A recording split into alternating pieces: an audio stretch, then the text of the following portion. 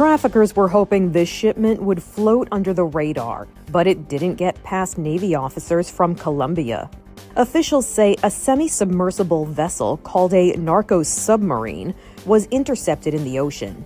It was first spotted by the Ecuadorian Navy, but they say it crossed into Colombian waters hoping to avoid capture.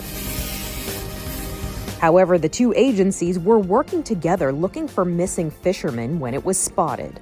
Officials say nearly 9,000 pounds of wrapped packages were found on the vessel, and the substance inside tested positive for cocaine hydrochloride. With this seizure, narco trafficking criminal organizations were prevented from earning $137 million and distributing 10 million doses in the world.